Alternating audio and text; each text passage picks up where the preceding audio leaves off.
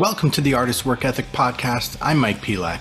I'm an actor, screenwriter, and filmmaker who's always looking to maximize my time and potential as I work to break in.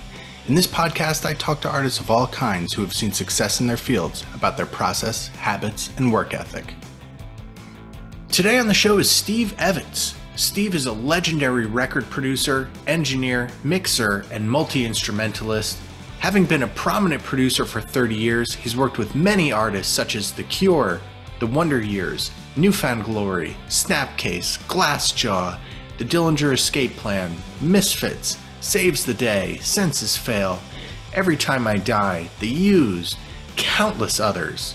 His body of work contains so many records that have been highly influential to me personally, so it was really cool to, to sit down and talk to Steve. A couple quick things before we jump into the episode.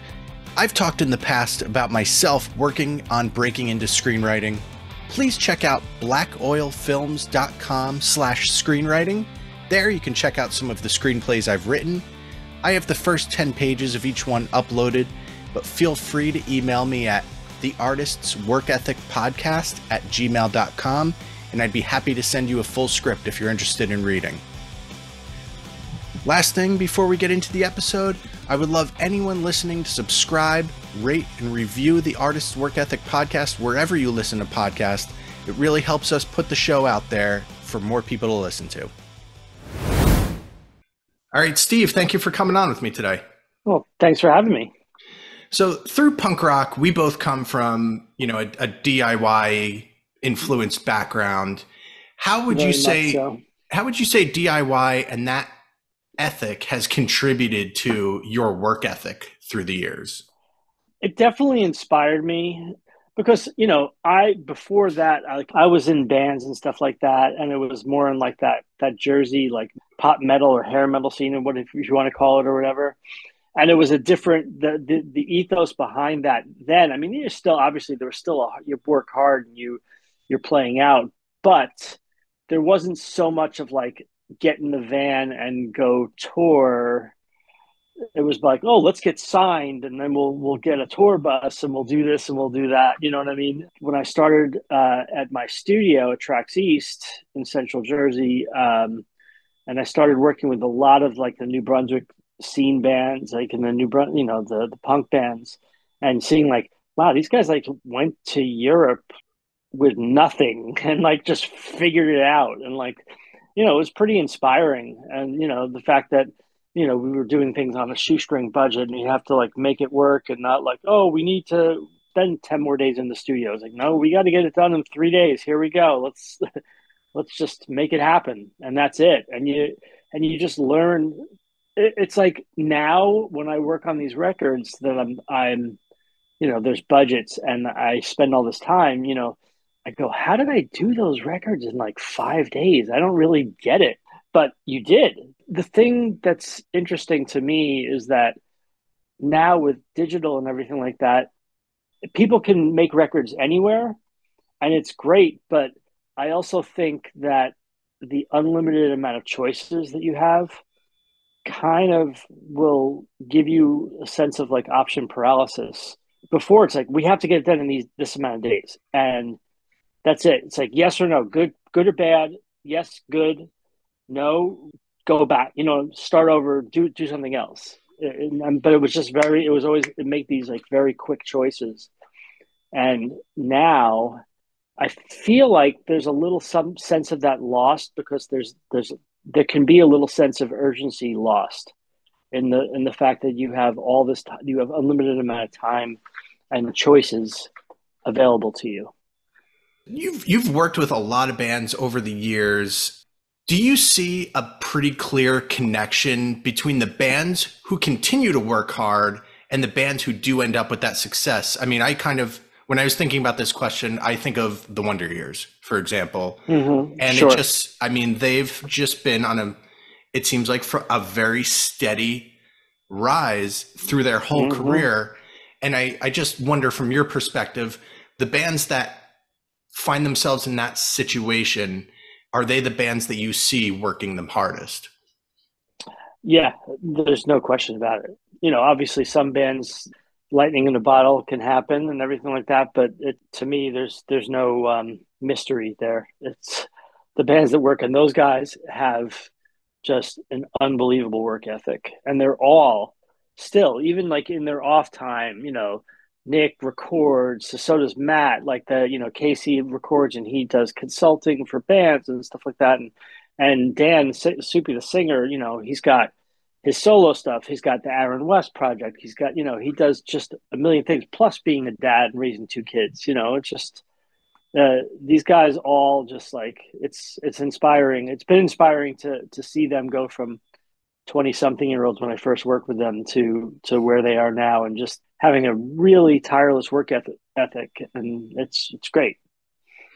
So, do you think your work ethic comes from something in maybe how you were raised or some other factor in your life so along the way? I I think so. My father is a bit of a workaholic. He's I mean, my dad's 82 years old, still works because he loves to work. That's yeah. what he does. And I love to work. I mean, I do uh, you know, I can get I can procrastinate on things, but at the same time, I love still after I've been doing this almost 30 years and I still get a complete charge out of what I do. I love those moments and and you know when you're working on a on a song with the band you're creating and and there's that little moment I call it like a moment of discovery when something just clicks in the studio and you go oh my god like it's the greatest thing ever and I still it still gives me a charge and I still love creating and every day I'll have these little moments. I'm in the studio and be like, man, how great is this? This is just the coolest thing ever. And I've always loved, I've always, I, I played in bands, like I said earlier, but I always love being in the studio. Being in the studio is my absolute favorite thing. I've always loved it. How, how are you structuring your day to, to balance productivity and the studio and just your, your life as well? Uh, it's different because like my wife and I are on such we're such opposite. My wife is a very much an early bird and I am incredibly a night owl. I I do my best my I feel like I'm at my, my most creative at night when the sun goes down. Not to say I can't be creative. I'm you know, I, I I've adjusted, but for the most part, I like those moments like you know, I used to work a lot of the artists I work with, like, you know, worked at like, you know, one in the morning, two in the morning. You know, I, I don't quite do that as much as I used to. Sometimes I do, but for the most part, I don't. But there, there's always that thing, that ethic, that thing of like when basically the world's asleep and then me and somebody else or me and the band are in there, like, for like, nobody knows what we're doing, but we're up here making stuff. You yeah. know, that's, I like that. I like that kind of like, the you know so my friend my friend one of my friends uh mike from this this uh progressive metal band symphony x that we work with he always always he's the same way and he's always like you know the cool hours that nobody knows about it's, it's funny my i i kind of like will alternate where i'll take a few months and i'll be up late and then i'll kind of almost switch it up almost kind of unconsciously and i'll be waking up early and my mm-hmm. wife always says that while she's asleep i live this whole other life and it's really it's really just me typing on a keyboard mostly, you know. But right, um, yeah, same same thing. Like I, I I love when everyone else is asleep. Love my wife, but when she's asleep, when the kids are asleep, and just no one's bothering me, and I know no one's going to be around for a couple hours, is mm-hmm. is when mm-hmm. I do my best as well. Exactly. That's that's always the the thing I've and then I know like the the the artist I'm working with now, Craig, he does the same thing, but early in the morning. He'll get up at five in the morning and love working from like five to eight when yeah. people are just kind of waking up. It's the same, essentially the same thing, but shifted forward a few hours. That's all. So I'm a huge list person. In in thinking about something like goal setting, how do you, you know, long term, short term, how do you keep yourself organized and kind of focused on what you need to be doing daily, weekly, whatever? Uh, daily, weekly. It's it's interesting because I wish I was as organized in my personal life as I was in the studio. but the studio is where the studio is where I'll make lists. My wife's a big list maker in nor in on in my regular life. I'm not. I'm just like, ah, whatever. I fly by the seat of my pants, kind of more than more than not, and it kind of drives my wife crazy. But in the studio, you know, we usually make like a progress board, and so it's like everything's mapped out. There's a grid, and I know, okay, these are the songs. Here's what we've done. Here's what we need to do. But it's not so much like stick to the list and be rigid. It's more about just keeping in check what we know we've done and what needs to be done. Because I'll always same thing. I still kind of go with the flow. Well, like, uh, what's what do you feel? Because like you know, especially in the studio, it's like ah, the singer ah, oh, my voice feels a little rough. Okay, let's not do vocals. Let's jump to something else. What can we do? You know, as long as there's boxes open, as long as there's you know everything is doesn't have a check in it, it's like okay, well, there's lots of stuff to do. We're not going to run out of things to do, so let's just jump around. And and I, I don't mind that. I you know I'm I'm fine with jumping around. Actually, it keeps it kind of fresh. How important would you say that persistence and perseverance are to a successful work ethic, specifically in the arts? Because I think that's one of those things, you know, the longer I'm at this stuff, the more I see how, in, in my opinion, important it is. Because um, it's it's so yeah. easy to quit all these things that we're trying to do. You know? Oh, absolutely, what, absolutely. I guess Patience. what's your perspective there? Well, it's persistence, perseverance, but it's me. It's the other P. It's patience more than anything. And I, am an incredibly patient person. And it's just, you have to just kind of, you know, because part of it, and I get the drive of the person, well, it's persistence as far as the drive goes. And, you know, you have to keep trying at it because, you know, you're going to fail. You know, I always, I, I always make these baseball analogies because I'm not a huge sports fan. But I am a big baseball fan. And it's like, I make the baseball analogy because baseball is is a game of failure. Like if you fail seven out of ten times, you're awesome. You're an all star. You're a legend. You're batting three hundred. Like that's and that's failing seven out of ten times.